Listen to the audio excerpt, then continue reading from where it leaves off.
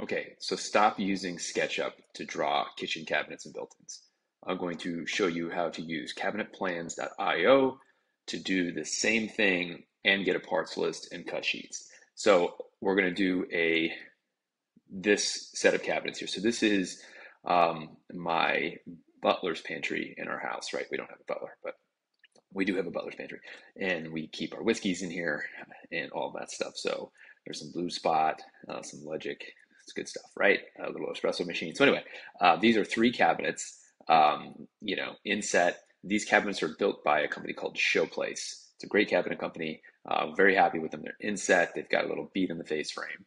And so what I would normally do, and I have a video on this, is you know you could watch. There's a I don't know, a 30 minute long video on YouTube where I walk you through how to draw a um, cabinet in 3D and show all the features, really just to kind of get the same this look here so you can see what it's going to look like when it's done, whether you're doing that for your spouse or you know for a client or something like that. And SketchUp's great; it's free. Um, it, it, just takes a while, and you'll see. And this video has like 60,000 views on it or something. Um, it's a fairly high demand thing. Um, and there's loads of videos on how to build a cabinet, but I wanted to show you how to how to do it uh, in a little easier way than that. So it's going to be much much faster. So we're going to start with a new cabinet project here. I'm going to call this Butler's Pantry. Okay, we're going to start this project. I'm going to choose a project setting. So uh, you could use one of the default settings, but since I want to emulate what I have in that Butler's Pantry and save time, I already built a a um, project setting called Show Place Inset Face Frame, and it's in inches. Uh, and you can see that in the project settings, but I'm just going to go start with that. So that allows me to build these cabinets considerably faster. All right, so we're going to do the bottom left cabinet here. I'll show you how quick this is. So this will be this cabinet here. It's one door, one drawer. And so I'm going to select from my cabinet types, kitchen base cabinet, and it is this guy here, one door, one drawer. All right, so now with these project settings pre-configured, if I click here, you can see what all of this looks like. Okay, everything's already configured to match that. All I got to do is put in my width. All right, so we're going to go with 24 inches, and I'm going to hit save, and it's going to build that cabinet. All right, so give that a second, and there's my parts list already. Okay, so now let's go add another one of those cabinets. We're going to say bottom right, and I'm going to do the same thing. One door, one drawer, also 24 inches. Save cabinet. Okay, so our base cabinets are done. We have something to draw from too. So now let's do our upper cabinets. So this will be, we'll do upper left. Okay, this is going to be a stacked cabinet, but it's a kitchen wall cabinet, and it's going to be stacked with one door over one drawer like this. Okay, so this will have to specify a little more, but this is also 24 inches wide. In this particular cabinet, it's 48 inches high, and it has a depth of about 14 inches because it's inset. All right, the only thing I think I have to change here is um, the door height isn't to be 20. For these uppers, it's 31.5. That's it. So I'm to hit save. Okay. And then we're going to do that again. While that builds the parts, we can work.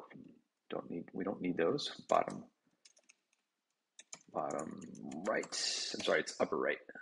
I'm an idiot. Upper right. All right. So upper right going to be this this. I need to add a duplicate button so we can skip this part if you have duplicate cabinets. But for now, just bear with me. Cabinet also going to be 48 inches and depth is 14. Uh, we're going to set all this to also uh, our door height is 31.5. That is a driving dimension for the rest of the cabinet. The upper cabinet, uh, the upper door is automatically set from whatever's left over there between the height and that lower door height. Okay, so we have one more cabinet to build while that does its thing in the background, we're going to add uh, the upper middle. Okay.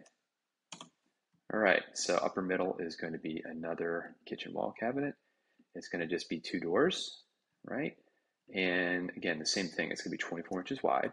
The height on this one is 36 inches high. It's a little uh, shorter, and the depth will also be 14 inches. Now, that I don't need to change the door setting on this one because it's a, it's a driven dimension in this time. All right, so that's that. So these parts are building in the background. Um, in the meantime, I'm basically done here in terms of setting up my cabinets. I'm going to have a complete parts list once these are done. I can, excuse me, generate my project cut sheets right from here.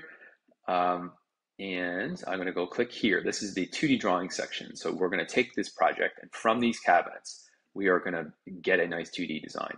So a couple things I'm going to set my wall dimensions. So this is, we have nine foot ceilings. So I'm going to put 108 inches there. All right, I'm going to, we're going to just go center for now. Um, it doesn't really matter in this case, but actually the width of the walls are 72 inches. So let's do that. Okay. So now we have something that's nine feet tall, 72 inches. So let's start with our base cabinets. We're going to do uh, one of these, and then we'll add one of those. Okay. So, you know, you notice from this picture, I've got a, like a little base uh, fridge there. How do we do that?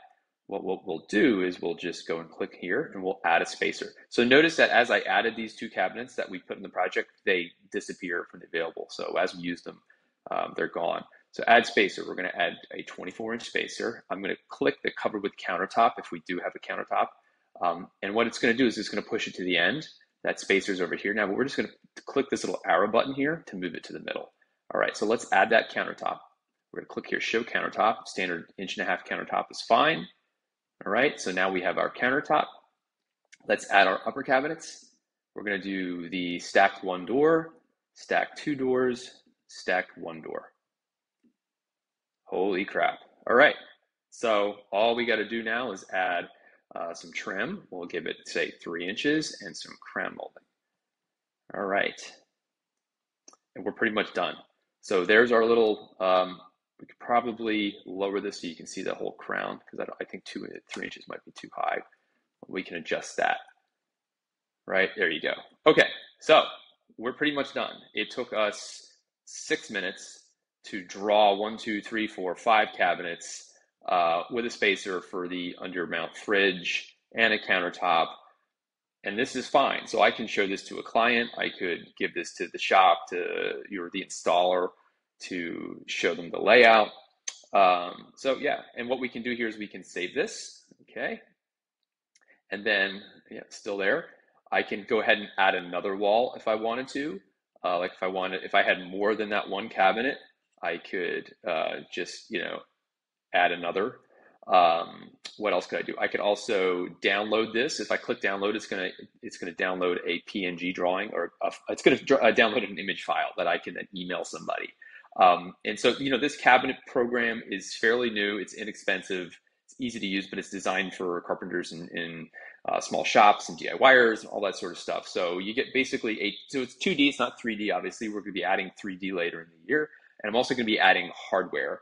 Um, but yeah, same thing. If we wanted to do this with, um, you know, a, a five piece drawer front, we could change that. If we wanted to make these doors overlay, that would show. Um, but that's it. So I just wanted to show you how quick and easy this was instead of watching a, you know, a 30, 40 minute video on how to build cabinets um, in, in SketchUp. You can just use this because it's done easier. So have a great day.